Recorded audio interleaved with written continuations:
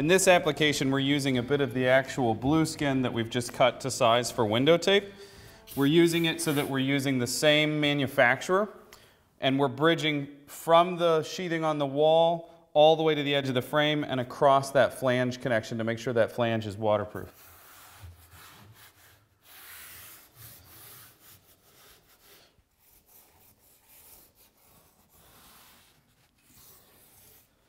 We're going to make a cut here at the bottom so that this flange will lay flat.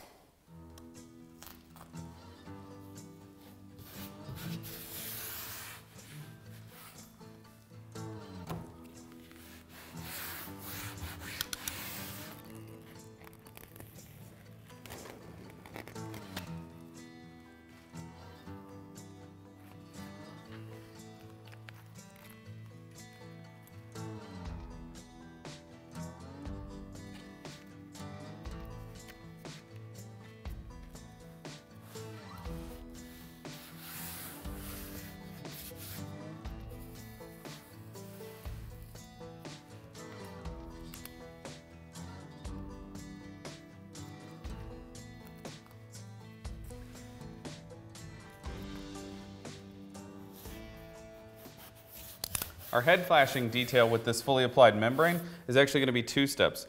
We'll have a piece just like our jambs on the sides, but then we'll detail the top of this piece with a little bit of their sealant.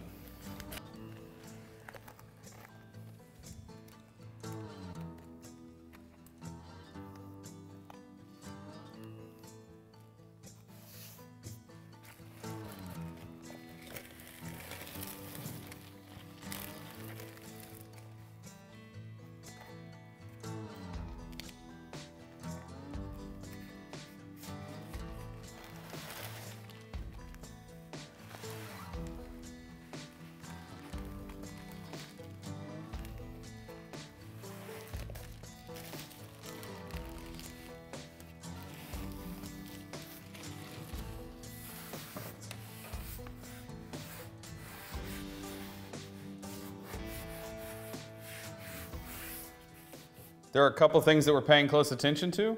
We're trying to bridge from that frame all the way to the WRB again, and we're making sure that this head jamb extends beyond both of our vertical legs. Our final step is a little bit of the sealant across the entire head, and then we'll tool it in place.